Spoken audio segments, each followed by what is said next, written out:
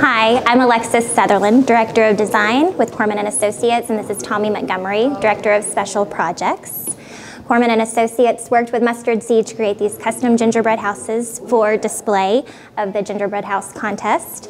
And here we have a sample of it right here. We work with customers um, all over the world, really, to create custom retail displays for their retail environment.